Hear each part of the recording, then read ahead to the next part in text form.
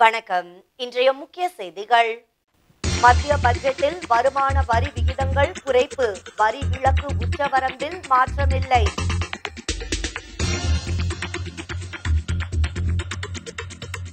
விவசாய துறையை மேம்படுத்த பதினாறு அம்ச திட்டங்கள் பட்ஜெட்டில் தாக்கல்.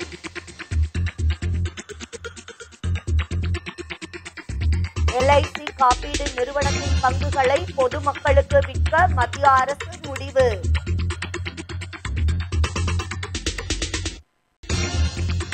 வரலாற்றின் மிகப்பெரிய பட்ஜெட் உரையில் ஒன்றும் இல்லை என ராகுல் காந்தி குற்றச்சாட்டு. வணக்கம். விரிவான செய்திகள். நாடாளுமன்றத்தில் பட்ஜெட் தாக்கல் செய்த நிதியமைச்சர் நிர்மலா சீதாராமன் மத்திய பட்ஜெட்டில் வருமான வரி விகிதங்கள் குறைக்கப்பட்டுள்ளது என தெரிவித்துள்ளார். மத்திய நிதியமைச்சர் நிர்மலா சீதாராமன் நாடாளுமன்றத்தில் இந்த நிதியாண்டுக்கான பட்ஜெட்டை இன்று தாக்கல் செய்தார். அப்போது அவர் பேசியபோது தனிநபர் வருமானம் ஐந்து லட்சம் ரூபாய் இருந்தால் வருமான வரி செலுத்த தேவையில்லை. ஐந்து லட்சம் முதல் ஏழு புள்ளி ஐந்து லட்சம் ரூபாய் வரை வருமானம் இருந்தால் இருபது சதவீதத்தில் இருந்து பத்து சதவீதமாக வரி குறைப்பு செய்யப்பட்டுள்ளது. ஏழரை லட்சம் முதல் பத்து லட்சம் ரூபாய் வரை வருமானம் இருந்தால் இருபது சதவீதத்தில் இருந்து பதினைந்து சதவீதமாக வரி குறைக்கப்பட்டுள்ளது. பத்து லட்சம் முதல் பனிரெண்டரை லட்சம் ரூபாய் வருமானம் இருந்தால் முப்பது சதவீதத்தில் இருந்து இருபது சதவீதமாக வரி குறைப்பு செய்யப்பட்டுள்ளது. பனிரெண்டரை லட்சம் முதல் பதினைந்து லட்சம் வரை வருமானம் இருந்தால் முப்பது சதவீதத்தில் இருந்து இருபத்தி ஐந்து சதவீதமாக குறைப்பு செய்யப்பட்டுள்ளது. பதினைந்து லட்சம் ரூபாய்க்கு அதிகமாக வருமானம் இருந்தால் முப்பது சதவீதம் என்பதில் எவ்வித மாற்றமும் இல்லை. இந்த வருமான வரி குறைப்பு நடவடிக்கையால் மத்திய அரசுக்கு சுமார் நாற்பதாயிரம் கோடி ரூபாய் இழப்பு ஏற்படும் என தெரிவித்துள்ளார். நாடாளுமன்றத்தில் பட்ஜெட் தாக்கல் செய்த நிதியமைச்சர் நிர்மலா சீதாராமன் விவசாய துறையை மேம்படுத்துவதற்கு பதினாறு அம்ச திட்டங்கள் உருவாக்கப்பட்டு உள்ளது என தெரிவித்துள்ளார். இந்தியா தற்போது பொருளாதாரத்தில் உலகின் ஐந்தாவது பெரிய நாடாக விளங்கி வருகிறது. மத்திய அரசின் இரண்டாயிரத்தி பதினான்கில் ஐம்பத்தி இரண்டு புள்ளி நான்கு சதவீதமாக இருந்த கடன் தற்போது நாற்பத்தி எட்டு புள்ளி ஏழு சதவீதமாக குறைந்துள்ளது. விவசாய துறையை மேம்படுத்துவதற்கு பதினாறு அம்ச திட்டங்கள் உருவாக்கப்பட்டு உள்ளது. சூரிய ஒளியில் மின்சாரம் தயாரிக்கும் இயந்திரங்கள் அமைக்க முன்வரும் விவசாயிகளுக்கு இருபது லட்சம் ரூபாய் நிதி உதவி வழங்கப்படும். இரண்டாயிரத்தி இருபத்தி இரண்டாம் ஆண்டுக்குள் விவசாயிகளின் வருமானம் இரட்டிப்பாக்க நடவடிக்கை எடுக்கப்பட்டு உள்ளது. விவசாய விளை பொருட்களை குறைந்த செலவில் கொண்டு செல்ல நடவடிக்கை எடுத்துள்ளோம். கிராமப்புற பெண்களின் வளர்ச்சிக்காக தானிய லக்ஷ்மி திட்டம் தொடங்கப்படும். மகளிர் சுய உதவி குழுக்களுக்கு அதிக அளவில் கடன் உதவி வழங்கப்படும். விவசாயிகளுக்கு வழங்கப்படும் கடன்கள் பதினாறு லட்சம் கோடியாக உயர்த்தப்படும். பால் பழங்கள் காய்கறிகள் கொண்டு செல்ல தனி ரயில் அறிமுகம் செய்ய முடிவு செய்யப்பட்டுள்ளது என தெரிவித்துள்ளார். எல்ஐசி எனப்படும் ஆயுள் காப்பீட்டு நிறுவனத்தில் உள்ள மத்திய அரசின் முதலீடு திரும்ப பெறப்படும். அதன் பங்குகள் பொதுமக்களுக்கு விற்கப்படும் என நிர்மலா சீதாராமன் அறிவித்துள்ளார். நாடாளுமன்றத்தில் நடப்பு நிதியாண்டிற்கான மத்திய அரசின் நிதிநிலை அறிக்கையை தாக்கல் செய்த நிதியமைச்சர் நிர்மலா சீதாராமன் பல்வேறு புதிய அறிவிப்புகளை வெளியிட்டு உரையாற்றி வருகிறார். அவ்வகையில் சில நிறுவனங்களில் உள்ள மத்திய அரசின் முதலீட்டை திரும்ப பெறும் பட்டியலில் எல்ஐசி எனப்படும் ஆயுள் காப்பீட்டு நிறுவனம் இணைக்கப்படும். அந்நிறுவனத்தின் பங்குகள் பொதுமக்களுக்கு விற்கப்படும் என நிர்மலா சீதாராமன் தெரிவித்தார். இன்றைய நிலவரப்படி எல்ஐசி நிறுவனம் நூறு சதவீதம் மத்திய அரசுக்கு சொந்தமானது என்பது நினைவிருக்கலாம். நாடாளுமன்றத்தில் இன்று நிதியமைச்சர் தாக்கல் செய்த பட்ஜெட்டில் தொழில் மற்றும் வர்த்தக மேம்பாட்டுக்கு இருபத்தி ஏழாயிரத்தி முன்னூறு கோடி ரூபாய் ஒதுக்கீடு சென்னை பெங்களூரு இடையே வர்த்தக வழித்தடம் விவசாயிகளுக்கு பதினைந்து லட்சம் கோடி கடன் தர இலக்கு விவசாய பொருட்களை கொண்டு செல்ல ரயில்களில் தனி வசதி செய்யப்பட்டுள்ளது. நபார்டு வங்கி மூலம் மறுகடன் திட்டம் விரிவுபடுத்தப்படும். சிறு ஏற்றுமதியாளர்களுக்கு உதவ நிர்விக் என்ற திட்டம் கொண்டு வரப்படும். நூற்றி இரண்டு லட்சம் கோடியில் ஆறாயிரத்தி ஐநூறு உட்கட்டமைப்பு திட்டங்கள் ஏற்படுத்தப்படும். போக்குவரத்து கட்டமைப்பு மேம்பாட்டுக்கு ஒன்று புள்ளி ஏழு லட்சம் கோடி ஒதுக்கீடு மின்சாரம் மற்றும் புதுப்பிக்கத்தக்க எரிசக்தி துறைக்கு இருபத்தி இரண்டாயிரம் கோடி ரூபாய் ஒதுக்கீடு தேசிய சரக்கு போக்குவரத்து கொள்கை விரைவில் அறிவிக்கப்படும். ஆயுஷ்மான் திட்டத்தின் கீழ் தனியார் பங்களிப்புடன் புதிய மருத்துவமனைகள் கட்ட திட்டம். தூய்மை இந்தியா திட்டத்திற்கு பனிரெண்டாயிரத்து முன்னூறு கோடி ரூபாய் ஒதுக்கீடு. ஜல் ஜீவன் திட்டத்திற்கு மூன்று புள்ளி ஆறு லட்சம் கோடி ஒதுக்கீடு. இருபத்தி ஏழாயிரம் கிலோமீட்டர் தூரத்திற்கு ரயில் பாதை மின்மயமாக்கப்படும். பெங்களூரில் புதிய புறநகர் ரயில் திட்டம் செயல்படுத்தப்படும். சுற்றுலா தலங்களை இணைக்கும் வகையில் கூடுதல் தேஜஸ் ரயில்கள் இயக்கப்படும். இரண்டாயிரத்தி இருபத்தி ஓராம் ஆண்டுக்குள் நூத்தி எட்டு மில்லியன் மெட்ரிக் டன் பால் உற்பத்தி இலக்கு இரண்டாயிரத்தி இருபத்தி மூன்றாம் ஆண்டுக்குள் இருநூறு லட்சம் டன் மீன் உற்பத்தி செய்வதற்கான இலக்கு ஒருங்கிணைந்த சமூக நலத்துறை திட்டங்கள் செயல்படுத்தப்படும். ஊரக வளர்ச்சி திட்டங்களுக்கு ஒன்று புள்ளி இரண்டு மூன்று லட்சம் கோடி இலக்கு. சிறு நகரங்களுக்கும் மருத்துவ வசதி கொண்டு செல்வதற்கான விரிவான திட்டங்கள் செயல்படுத்தப்பட உள்ளது. இரண்டாயிரத்தி இருபது இருபத்தி ஒன்றாம் ஆண்டிற்கான நிதிநிலை அறிக்கையை மக்களவையில் வாசித்த நிதியமைச்சர் நிர்மலா சீதாராமன் அதன் முக்கிய அம்சங்கள் பத்து லட்சத்திற்கும் மேற்பட்ட குடும்பங்களின் ஊட்டச்சத்து நிலையை பதிவேற்ற ஆறு லட்சத்திற்கும் மேற்பட்ட அங்கன்வாடி தொழிலாளர்களுக்கு ஸ்மார்ட் போன்கள் வழங்கப்படும். இரண்டாயிரத்தி இருபத்தி இரண்டாம் ஆண்டு ஜி டுவெண்டி மாநாடு இந்தியாவில் நடத்தப்படும்.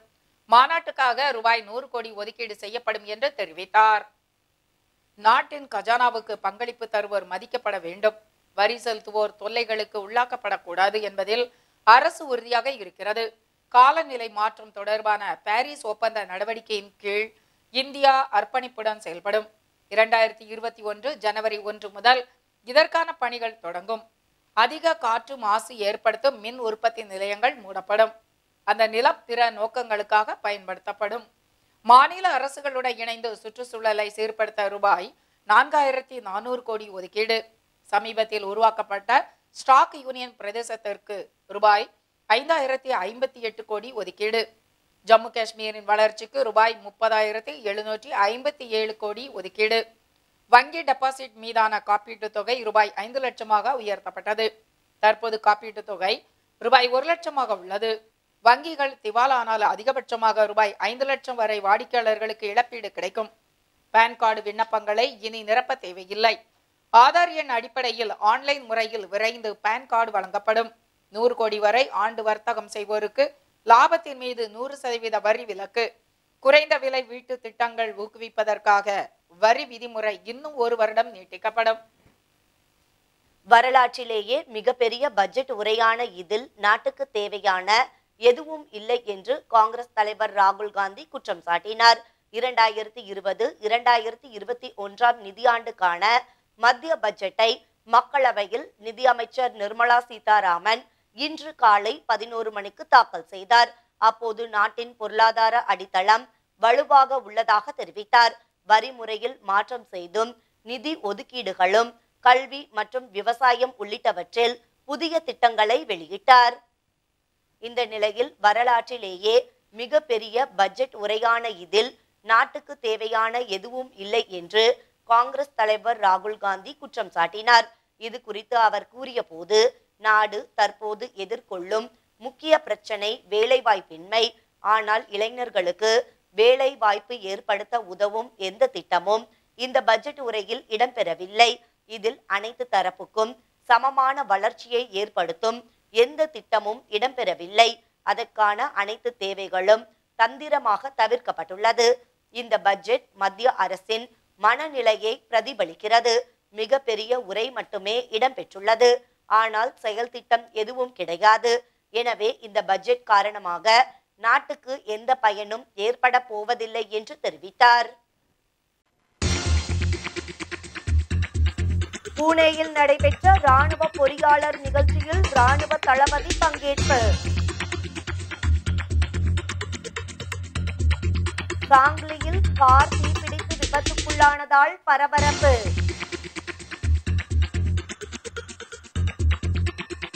அச்சுறுத்தும் கொரோனா வைரஸ் சீனாவிலிருந்து நான்கு இந்தியர்கள் தாயகம் திரும்பினர். கழுத்தில் டயருடன் தவிக்கும் முதலையை விடுவிப்போருக்கு சன்மானம் வழங்கப்படும் என அறிவிப்பு.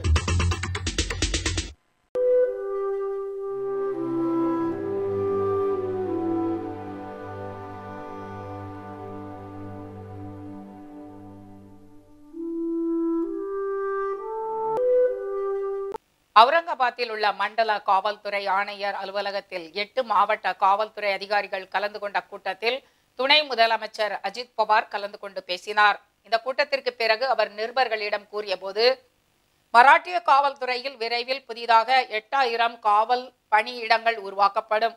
அவசரகால துறைகளில் பணிபுரியும் ஊழியர்களின் தேவைகளை பூர்த்தி செய்ய அரசு முடிவு செய்துள்ளது. நாட்டின் பொருளாதார மந்தநிலை வேலையின்மை ஆகிய பிரச்சனைகளால் மக்கள் பாதிக்கப்பட்டுள்ளனர். பணவீக்கமும் அதிகரித்துள்ளது. எனவே முதலீட்டாளர்கள் நாட்டில் தங்களது பணத்தை முதலீடு செய்வதை மத்திய நிதி அமைச்சர் உறுதி செய்ய வேண்டும் என்று அவர் கூறினார். புனே மெட்ரோ திட்டத்திற்கு ஆயிரத்தி அறுநூறு கோடி ரூபாய் கடன் ஒப்பந்தம். மாநில மற்றும் ஐரோப்பிய முதலீடு வங்கி அதிகாரிகள் இடையே இன்று மும்பையில் ஏற்பட்டது. Maharashtra metro rail corporation limited மற்றும் ஐரோப்பிய முதலீட்டு வங்கி இடையே ஆன ஆயிரத்தி அறுநூறு கோடி ரூபாய் கடன் ஒப்பந்தம் இன்று மும்பையில் முதல்வர் உத்தவ் தாக்கரே முன்னிலையில் நடைபெற்றது. பூனே மெட்ரோ ரயில் திட்டத்திற்காக இந்த கடன் தொகை வழங்கப்படுகிறது. இதில் மாநில அமைச்சர் ஏக்நாத் ஷிண்டேயும் கலந்து கொண்டார். கடன் ஒப்பந்த ஆவணங்கள் அதிகாரிகள் மட்டத்தில் பரிமாறப்பட்டது. மும்பையில் நடைபெற்ற இந்நிகழ்ச்சியில் முதல்வர் உத்தவ் தாக்கரேக்கு அதிகாரிகள் பூங்கொத்து மற்றும் நினைவு பரிசு வழங்கினர். வங்கி கடன் மூலம் பூனே மெட்ரோ ரயில் திட்ட பணிகள் மேற்கொள்ளப்படும் என்று அதிகாரிகள் தெரிவித்தனர். பூனேயில் நடைபெற்ற ராணுவ நிகழ்ச்சியில் ராணுவ தலைமை தளபதி மனோஜ் முகுந்த் நரவானே கலந்து கொண்டார். பூனேயில் ராணுவத்தின் பாம்பே பொறியாளர் குழுவின் நூற்றாண்டு தினத்தை முன்னிட்டு அணிவகுப்பு நடத்தப்பட்டது. நிகழ்ச்சியில் கலந்து கொண்ட ராணுவ தலைமை தளபதி மனோஜ் முகுந்த் நரவானை அணிவகுப்பு மரியாதையை ஏற்றுக்கொண்டார். இந்நிகழ்ச்சியில் ராணுவ உயர் அதிகாரிகள் பலர் கலந்து கொண்டனர். நிகழ்ச்சியில் உரையாற்றிய ராணுவ தளபதி ராணுவ வீரர்களுக்கு புகழாரம் சூட்டியுள்ளார். பாம்பே பொறியாளர் குழு கடந்த ஆயிரத்தி எண்ணூற்றி இருபதாம் ஆண்டு தொடங்கப்பட்டு இந்திய ராணுவ மேம்பாட்டிற்காக செயலாற்றி வருவது குறிப்பிடத்தக்கது. குழந்தைகள் விற்பனை சம்பவத்தில் ஈடுபட்ட இரண்டு பெண்கள் உள்பட மூன்று நபர்களை காவல்துறையினர் கைது செய்துள்ளனர். குழந்தைகளை விற்பனை செய்யும் கும்பலை சேர்ந்த மூன்று நபர்களை மும்பை குற்றப்பிரிவு காவல்துறை யூனிட் ஒன்பது பிரிவினர் கைது செய்துள்ளனர். கைது செய்யப்பட்ட நபர்கள் முகமது பசல் பத்தான் சரிஃபா பத்தான் ஃபரின்கான் என்று காவல்துறையினர் தெரிவித்தனர். காவல்துறையினருக்கு கிடைத்த ரகசிய தகவலை தொடர்ந்து குழந்தை வாங்கும் நபர் போல் வேடமிட்டு சென்ற காவல்துறையினர் அதனை உறுதி செய்தனர். கைது செய்யப்பட்ட நபர்கள் மீது வழக்கு பதிவு செய்யப்பட்டு நீதிமன்றத்தில் ஆஜர்படுத்தப்பட்ட நிலையில் வழக்கு தொடர்பாக விசாரணை நடைபெற்று வருவதாக காவல்துறை அதிகாரி அக்பர் பதான் தெரிவித்தார். விரார் பகுதியில் ஐந்து நாய்க்குட்டிகள் விஷம் வைத்து கொல்லப்பட்ட சம்பவம் தொடர்பாக நான்கு பேர் மீது வழக்கு பதிவு செய்யப்பட்டுள்ளது. விரார் மாடா குடியிருப்பு பகுதியில் நாய்க்குட்டிகளுக்கு விஷம் வைத்த சம்பவம் பரபரப்பை ஏற்படுத்தியுள்ளது. இச்சம்பவத்தில் ஐந்து நாய்க்குட்டிகள் உயிரிழந்த நிலையில் மூன்று குட்டிகள் பத்திரமாக மீட்கப்பட்டது. நேற்று முன்தினம் இருபத்தி இரண்டு நாய்க்குட்டிகள் காணாமல் போனதை தொடர்ந்து விலங்கு ஆர்வலர்கள் நடவடிக்கையில் இறங்கியுள்ளனர். மீட்கப்பட்ட நாய்க்குட்டிகள் மீண்டும் தாயிடம் சேர்த்து வைக்கப்பட்டது. நாய்க்குட்டிகளுக்கு விஷம் வைத்தது தொடர்பாக காவலாளி ரவி வர்மா உள்ளிட்ட நான்கு பேர் மீது அர்னாலா காவல் நிலையத்தில் வழக்கு பதிவு செய்யப்பட்டுள்ளதாக விலங்கு ஆர்வலர் ஒருவர் தெரிவித்தார். குழந்தைகள் கடத்தும் சம்பவம் சர்வதேச அளவில் திட்டமிட்டு செயல்பட்டு வருவதாக பாலிவுட் நடிகை ரவீனா தண்டன் தெரிவித்துள்ளார். மும்பையில் நடைபெற்ற நிகழ்ச்சியில் கலந்து கொண்டு பேசிய பாலிவுட் நடிகை ரவீனா தண்டன் குழந்தை கடத்தும் சம்பவம் இந்தியாவில் மட்டுமில்லாமல் சர்வதேச அளவில் திட்டமிட்டு நடைபெற்று வருவதாக தெரிவித்தார். பெரும்பாலும் குழந்தைகள் பாலியல் நடவடிக்கை மற்றும் மனித உறுப்புகளுக்காக கடத்தப்பட்டு வருவதாக அவர் மேலும் தெரிவித்தார். ரயில் நிலையங்கள் மற்றும் குடிசை பகுதியில் குழந்தை கடத்தும் சம்பவங்கள் அடிக்கடி நிகழ்வதாக தெரிவித்த அவர் இது மனிதாபிமானம் அற்ற செயல் என்று தெரிவித்தார். குழந்தைகள் கடத்தும் செயல் பெரிய அமைப்பாக செயல்பட்டு வருவதாக அவர் தெரிவித்தார். சாங்கிலி மாவட்டம் அட்பாடி தாலுகா பகுதியில் கார் தீப்பிடித்து விபத்துக்குள்ளான சம்பவம் பரபரப்பை ஏற்படுத்தியுள்ளது. சாங்கிலி மாவட்டம் அட்பாடி தாலுகாவிற்குட்பட்ட சாய் மந்திர் சவுக் பகுதியில் சாலையில் சென்ற கார் தீப்பிடித்து விபத்துக்குள்ளானது. விக்ரம் பட்டான்கே என்பவர் ஓட்டி சென்ற கார் மின் கசிவு காரணமாக தீப்பிடித்து விபத்துக்குள்ளானது. தீப்பிடித்ததை தொடர்ந்து ஓட்டுநர் காரில் இருந்து இறங்கி உயிர் தப்பினார். அருகில் நின்றவர்கள் தீயை அணைக்க முயன்றும் எந்த பயலும் இல்லை. தீ விபத்தில் கார் முற்றிலும் எரிந்து நாசமானது. விபத்து குறித்து வழக்கு பதிவு செய்த காவல்துறையினர் விசாரணை நடத்தி வருகின்றனர். பெங்களூரு பெருநகர போக்குவரத்து கழகத்தின் பேருந்து ஓட்டுநர் ஒருவர் சாலையில் இருசக்கர வாகனத்தில் சென்று கொண்டிருந்த நபரை தாக்கிய காரணத்தால் பணியிடை நீக்கம் செய்யப்பட்டார். இந்த சம்பவத்தின் வீடியோவில் டிப்போ இருபத்தி எட்டின் ஓட்டுநர் சந்தோஷ் பாடிகர் அந்த நபரை பல முறை அறைந்தது பதிவு செய்யப்பட்டு இருந்தது. இந்த சம்பவம் எங்கள் கவனத்துக்கு வந்துள்ளது. தற்போது ஓட்டுநர் பணியிடை நீக்கம் செய்யப்பட்டுள்ளார். மேலும் இது குறித்து விசாரிக்கப்பட்டு வருகிறது என்று போக்குவரத்து கழகத்தின் பிஆர்ஓ அஜித் டோரக்கல் கூறினார். குஜராத்தின் சூரத்தில் கார் கம்பத்தில் மோதியதில் கார் தீ பிடித்தது. வழிப்போக்கர்கள் சம்பவ இடத்திற்கு விரைந்து வந்து காருக்குள் அமர்ந்திருந்த மக்களை வெளியேற்றினர். இந்த முழு சம்பவமும் சிசிடிவி கேமராவில் பதிவு செய்யப்பட்டது. கார் சமநிலை இழந்து சாலையில் நிறுத்தப்பட்டிருந்த சில இருசக்கர வாகனங்கள் மீது மோதியதில் ஒரு நபர் நூல் இழையில் உயிர் தப்பினார். இந்த சம்பவம் ஜனவரி முப்பதாம் தேதி நடந்தது. இது குறித்த விவரங்கள் விரைவில் வெளியிடப்படும் என்று காவல்துறையினர் தெரிவித்துள்ளனர்.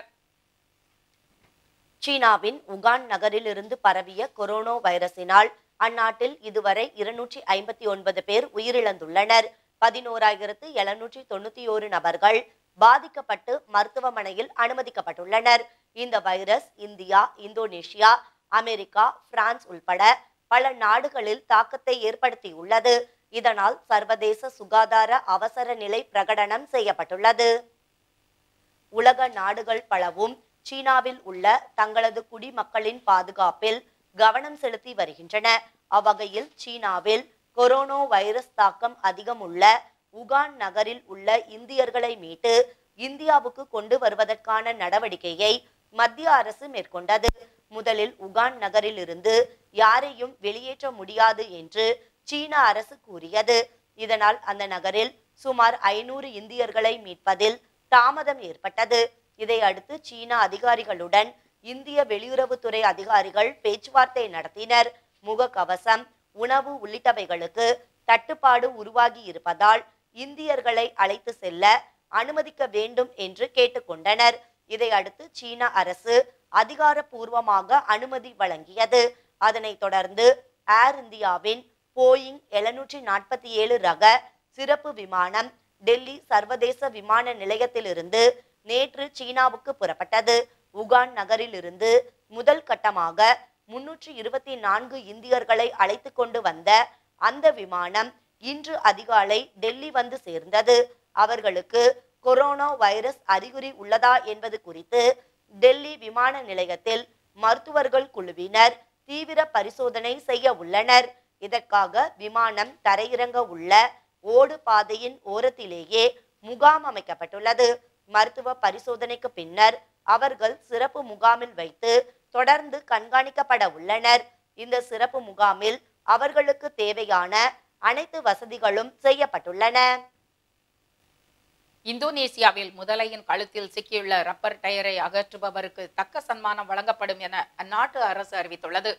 இந்தோனேசியாவின் சுலவேசி தீவில் உள்ளது பலு நகரம். மத்திய சுலவேசியின் தலைநகரான இது பலு ஆற்றங்கரையோரம் அமைந்துள்ளது. இந்த ஆற்றில் கடந்த வாரம் காணப்பட்ட முதலையின் கழுத்தில் இருசக்கர வாகனத்தின் டயர் சிக்கியிருந்தது. கடந்த இரண்டாயிரத்தி பதினெட்டாம் ஆண்டின் அப்பகுதியில் ஏற்பட்ட நிலநடுக்கம் மற்றும் சுனாமி காரணமாக பல்வேறு சேதங்கள் ஏற்பட்டன. அந்த சமயத்தில் ஏற்பட்ட வெள்ளத்தில் இந்த டயர் முதலையின் கழுத்தில் சிக்கியிருக்கலாம் என கண்டறியப்பட்டது. இந்த செய்தி மத்திய சுலவேசி இயற்கை வளங்கள் பாதுகாப்பு நிறுவனத்தின் கவனத்திற்கு வரவே ஒரு சில ஊர்வன வல்லுநர்கள் மூலம் அந்த டயரை எடுக்க முயற்சிக்கப்பட்டது. ஆனால் எந்த முயற்சியும் பலனளிக்கவில்லை. பல நாட்களாக முதலையின் கழுத்தை சுற்றியிருக்கும் அந்த டயர் நாள்பட நாள்பட முதலையின் கழுத்தை இறுக்கி இறப்பை ஏற்படுத்தலாம் என அதிகாரிகள் கவலை தெரிவித்துள்ளனர். இந்நிலையில் அந்த ராட்சச முதலையின் கழுத்தில் சிக்கியுள்ள ரப்பர் டயரை அகற்றுபவருக்கு தக்க சன்மானம் வழங்கப்படும் என அந்நாட்டு அரசு அறிவித்துள்ளது. முதலையின் கழுத்தில் சிக்கியுள்ள டயரை அகற்றுபவருக்கு தக்க சன்மானம் வழங்கப்படும் ஊர்வன இன விலங்குகளை வேட்டையாடும் வீரர்களை அழைக்கவில்லை. வனவிலங்கு மீட்பில் அனுபவம் உள்ளவர்களையும் அவற்றின் பாதுகாப்பில் வேட்கை உள்ளவர்களையுமே அழைக்கிறோம். முதலையை நெருங்கவோ அல்லது அதன் வாழ்விடத்தை தொந்தரவு செய்வதோ கூடாது என்று நாங்கள் பொதுமக்களிடம் கேட்டுக்கொள்கிறோம் என்று மத்திய சுலபேசி இயற்கை வள பாதுகாப்பு அமைப்பின் தலைவர் ஹஸ்முனி ஹஸ்மர் கூறினார். டயரை அகற்றுபவருக்கு எவ்வளவு சன்மானம் வழங்கப்படும் என தெரிவிக்கப்படவில்லை என்பது குறிப்பிடத்தக்கது. ஆஸ்திரேலியாவில் ஏற்பட்டுள்ள காட்டுத்தீயின் காரணமாக தலைநகர் கான்பெராவில் அவசர நிலை பிரகடனம் செய்யப்பட்டுள்ளது. ஆஸ்திரேலியாவில் தெற்கு Australia New South Wales Victoria கடற்கரையை ஒட்டிய பகுதிகளில் காட்டுத்தீ தொடர்ந்து பரவியது.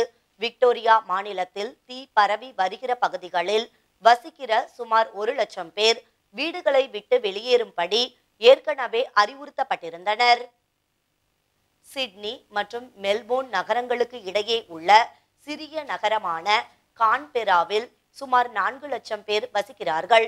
கான்பெராவில் கடந்த இருபது ஆண்டுகளில் இல்லாத மாபெரும் காட்டுத்தீ ஏற்பட்டது. கான்பெராவின் தென் பகுதியில் பதினெட்டாயிரத்தி ஐநூறு ஹெக்டேருக்கு அதிகமான பரப்பளவில் காட்டுத்தீ எரிந்து கொண்டிருக்கிறது. தற்போது பொதுமக்கள் வசிக்கும் பகுதிக்கு அருகில் நெருங்கி உள்ளது. இந்நிலையில் தலைநகரான கான்பெராவில் அவசர நிலை பிரகடனம் செய்யப்பட்டுள்ளது. அங்கு நிலவும் வறண்ட வானிலை அதீத வெப்பம் மற்றும் காற்றின் வேகம் காரணமாக தீ கட்டுக்கடங்காமல் பரவி வருவதால் கான்பெரா மற்றும் அதன் சுற்றுப்புறங்களில் வசிக்கும் மக்கள் எச்சரிக்கையாக இருக்குமாறு அறிவுறுத்தப்பட்டுள்ளனர். தெலுங்கானா மாநில வாரங்கல் அருகே உள்ள குவிலாசப்பூர் கிராமத்தில் அமைந்துள்ள தனியார் ரசாயன ஆலையில் பயங்கர தீ விபத்து ஏற்பட்டது. இத்தீ விபத்து காரணமாக அருகில் இருந்த மாணவர் விடுதியில் இருபத்தி ஐந்து மாணவர்கள் மயக்கமடைந்து மருத்துவமனைக்கு கொண்டு செல்லப்பட்டனர். தீ ஜுவாலைகள் கரும்புகையுடன் அப்பகுதியை சூழ்ந்ததால் தொழிற்சாலையில் பணியில் இருந்தவர்களுக்கும் அருகில் இருந்த குடியிருப்புகளில் பலருக்கும் மூச்சு திணறல் உள்ளிட்ட பாதிப்பு ஏற்பட்டன. கடுமையான பல மணி நேர போராட்டத்திற்கு பிறகு தீ அணைக்கப்பட்டது. இந்த தீ விபத்தில் உயிர் சேதம் தவிர்க்கப்பட்டதாக காவல்துறையினர் தெரிவித்தனர். நெல்லையில் தமிழகம் முழுவதும் உள்ள வேலையில்லாத பட்டதாரிகளை கணக்கெடுக்கும் வகையில் இளைஞர் காங்கிரஸ் சார்பில் மிஸ்டு கால் அலாட் சேவை துவங்கப்பட்டது. இதைத் தொடர்ந்து வேலை இல்லாதவர்களுக்கு வேலை வழங்கிட வலியுறுத்தி தலைமை செயலகத்தை முற்றுகையிட்டு போராட்டம் நடத்தப் போவதாகவும் அவர்கள் தெரிவித்தனர். மத்தியில் ஆளும் பாரதிய ஜனதா கட்சி தேர்தல் வாக்குறுதியாக ஆண்டுக்கு ஐந்து லட்சம் பேருக்கு வேலை என்ற வாக்குறுதியில் இன்று வரை இளைஞர்களுக்கு எந்த வேலை வாய்ப்பும் கிடைக்கவில்லை. அதிலும் குறிப்பாக தமிழகத்தில் காலி பணியிடங்களை நிரப்பாமல் மத்திய மாநில அரசு மெத்தன போக்கை கையாண்டு வருகிறது. ஆகவே இதனை தடுக்கும் வகையிலும் வேலையில்லாத பட்டதாரிகளை கணக்கெடுத்து ஒன்றிணைக்கும் வகையிலும் இளைஞர் காங்கிரஸ் சார்பில் மிஸ்டு கால் அலாட் சேவை துவங்கப்பட்டுள்ளது. அதன் ஒரு பகுதியாக நெல்லையில் காங்கிரசின் அகில இந்திய பொதுச் செயலாளர் Sanjay Dutt missed call allot சேவையை துவக்கி வைத்தார். இதனைத் தொடர்ந்து இளைஞர் காங்கிரஸ் நிர்வாகிகள் இளைஞர்கள் மற்றும் வேலையில்லாத பட்டதாரி பெண்களை சந்தித்து இது குறித்த விழிப்புணர்வை ஏற்படுத்தி மிஸ்டு கால் சேவையை பயன்படுத்த வலியுறுத்தினர். இதைத் தொடர்ந்து அவர்கள் கூறும்போது நாடு முழுவதும் வேலை இல்லாத பட்டதாரிகளை கணக்கெடுத்து அதனை மத்திய அரசின் பார்வைக்கு கொண்டு செல்வதோடு தமிழகத்தில் வேலை இல்லாத பட்டதாரிகளுக்கு உடனடியாக அரசு வேலை வாய்ப்பை உறுதி செய்திட வேண்டும். அவ்வாறு செய்ய தவறும் பட்சத்தில் தலைமை செயலகத்தை முற்றுகையிட்டு போராட்டம் நடத்தப் போவதாகவும் இளைஞர் காங்கிரஸ் நிர்வாகிகள் தெரிவித்தனர். நெல்லையில் நான்காவது புத்தக திருவிழாவை மாவட்ட ஆட்சியர் மற்றும் அமைச்சர்கள் கலந்து கொண்டு திறந்து வைத்தனர். இந்த புத்தக திருவிழா தங்களுக்கு பயனுள்ளதாக இருப்பதாகவும் அரிய வகை புத்தகங்கள் இங்கு கிடைப்பதாகவும் மாணவ மாணவிகள் தெரிவித்தனர். நெல்லை மாவட்டம் பாளையங்கோட்டையில் நான்காவது புத்தக திருவிழா கண்காட்சி வஉசி மைதானத்தில் இன்று தொடங்கியது. தொடக்க விழாவில் இன்று நெல்லை மாவட்ட ஆட்சியர் ஷில்பா பிரபாகர் சதீஷ் மற்றும் ஆதித்ராவிடர் மற்றும் பழங்குடியின் அமைச்சர் ராஜலட்சுமி ஆகியோர் கலந்து கொண்டு புத்தக கண்காட்சியை தொடங்கி வைத்தனர். இந்த கண்காட்சி இன்று தொடங்கி பத்து நாட்கள் தொடர்ந்து நடைபெற உள்ளன. மொத்தம் நூற்றி பத்து அரங்குகள் அமைக்கப்பட்டு பல்லாயிரக்கணக்கான புத்தகங்கள் விற்பனைக்காக வைக்கப்பட்டுள்ளன. அறிவியல் வரலாறு பொது அறிவு அரசியல் சமையல் குறிப்புகள் நீட் தேர்வு உள்பட பலவிதமான புத்தகங்கள் இங்கு விற்பனைக்கு கொண்டு வரப்பட்டுள்ளன. சென்னை உள்பட பல்வேறு மாவட்டத்தில் உள்ள ஏராளமான பதிப்பகங்கள் நேரடியான விற்பனையில் இங்கு ஈடுபட்டுள்ளன. மேலும் இங்கு வரும் மாணவ மாணவிகளை ஊக்குவிக்கும் வகையில் மாணவ மாணவிகளுக்கான அறிவியல் திறன் போட்டி மற்றும் ஒவ்வொரு நாளும் ஒரு இலக்கியவாதியை வரவழைத்து அவருடைய சொற்பொழிவு என பல்வேறு நிகழ்வுகள் ஏற்பாடு செய்யப்பட்டுள்ளன. இந்த நிகழ்ச்சியை காண்பதற்காக நெல்லை மாவட்டம் மட்டுமன்றி தூத்துக்குடி மற்றும் கன்னியாகுமரி மாவட்டங்களில் இருந்தும் ஏராளமான பொதுமக்கள் மற்றும் பள்ளி மாணவ மாணவிகள் வருகின்றனர். இந்த புத்தக திருவிழா குறித்து மாணவிகள் தெரிவிக்கும் போது இந்த கண்காட்சி தங்களுக்கு பயனுள்ளதாக இருப்பதாகவும் இதுபோல புத்தக கண்காட்சி ஆண்டுதோறும் மாவட்ட நிர்வாகம் தொடர்ந்து நடத்த வேண்டும் என்றும் தாங்கள் அறியாத அரிய வகை புத்தகங்கள் இங்கு இருப்பதாகவும் அதனை நாங்கள் வாங்கி பயன் அடைந்ததாகவும் மாணவ மாணவிகள் தெரிவித்தனர். மத்திய நிதி அமைச்சர் இன்று தாக்கல் செய்த நிதிநிலை அறிக்கையால் பங்கு சந்தை முதலீட்டாளர்கள் ஏமாற்றம் அடைந்துள்ள நிலையில் இன்றைய பங்கு சந்தை வர்த்தகம் தொள்ளாயிரத்தி எண்பத்தி ஏழு புள்ளிகள் சரிவில் முடிந்தது. நாடாளுமன்றத்தில் நடப்பு நிதியாண்டுக்கான மத்திய அரசின் நிதிநிலை அறிக்கையை தாக்கல் செய்த நிதி அமைச்சர் நிர்மலா சீதாராமன் தனிநபர் வருமான வரி உச்சவரம்பில் மாற்றம் உள்ளிட்ட பல்வேறு புதிய அறிவிப்புகளை வெளியிட்டு உரையாற்றினார். அவரது அறிவிப்புகளில் முதலீட்டாளர்களுக்கு லாபம் அளிக்கத்தக்க எவ்வித அம்சங்களும் இடம்பெறவில்லை என நிதித்துறை நிபுணர்கள் கருதுகின்றனர். இந்நிலையில் மும்பை பங்கு சந்தை வர்த்தகம் இன்று காலை உயர்வை சந்தித்து மாலையில் வர்த்தகம் முடிவடைந்த போது மிக பெரிய வீழ்ச்சியடைந்தது. சென்செக்ஸ் தொள்ளாயிரத்தி எண்பத்தி ஏழு புள்ளிகள் சரிந்து முப்பத்தி ஒன்பதாயிரத்தி எழுநூற்றி முப்பத்தி ஐந்து புள்ளிகளில் நிறைவடைந்தது. இதேபோல் நிப்டி முன்னூறு புள்ளிகள் சரிந்து பதினோராயிரத்து அறுநூற்றி அறுபத்தி இரண்டு புள்ளிகளில் நிறைவடைந்தது. குறிப்பாக எஸ்பிஐ ஆயுள் காப்பீடு நிறுவனத்தின் பங்குகள் ஆறு புள்ளி மூன்று சதவீதம் அளவுக்கு வீழ்ச்சி கண்டுள்ளன. ஐசிஐசிஐ ஆயுள் காப்பீடு நிறுவனத்தின் பங்குகள் ஆறு புள்ளி ஆறு சதவீதம் அளவுக்கும் ஹெச்டிஎஃப்சி ஆயுள் காப்பீடு நிறுவனத்தின் பங்குகள் மூன்று புள்ளி நான்கு சதவீதம் அளவுக்கும் வீழ்ச்சி அடைந்தன தாராவி தொண்ணூறடி சாலையில் மாரல் டென்டல் ஸ்டூடியோ பல் மருத்துவமனையை அமைச்சர் வர்ஷா கைக்வாட் இன்று திறந்து வைத்தார். தாராவி தொண்ணூறடி சாலை ஜே பி ஸ்டோர் அருகில் பல் மருத்துவர் மெர்லின் விஜிலாவின் பல் மருத்துவமனையை இன்று மாநில பள்ளி கல்வித்துறை அமைச்சர் வர்ஷா கைக்வாட் திறந்து வைத்தார். மாரல் டென்டல் ஸ்டூடியோ மருத்துவமனை திறப்பு விழா நிகழ்ச்சியில் இந்திய பேனா நண்பர் பேரவைத் தலைவர் எம் கருண் மும்பை காங்கிரஸ் செயலாளர் P N Natarajan Gautham John Kennedy Sulabha Karun Ambika Dakshina Maranadar Sangha Mumbai கிளை துணைத் தலைவர் ரெம்ஜிஸ் வடிவேல் கோபால் ராஜா உள்ளிட்டோர் கலந்து கொண்டனர். மருத்துவமனையில் நவீன உபகரணம் மூலம் சிகிச்சை அளிக்கப்பட உள்ளதாக மருத்துவர் மெர்லின் விஜிலா தெரிவித்தார். சிறப்பு விருந்தினர்கள் பொன்னாடை அணிவித்தும் பூங்கொத்து வழங்கியும் கௌரவிக்கப்பட்டனர். மீண்டும் இன்றைய முக்கிய செய்திகள். மத்திய பட்ஜெட்டில் வருமான வரி விகிதங்கள் குறைப்பு. வரி விலக்கு உச்சவரம்பில் மாற்றமில்லை.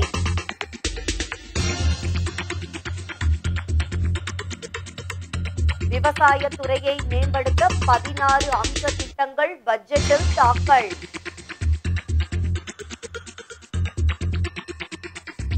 எல்ஐசி காப்பீடு நிறுவனத்தின் பங்குகளை பொதுமக்களுக்கு விற்க மத்திய அரசு முடிவு.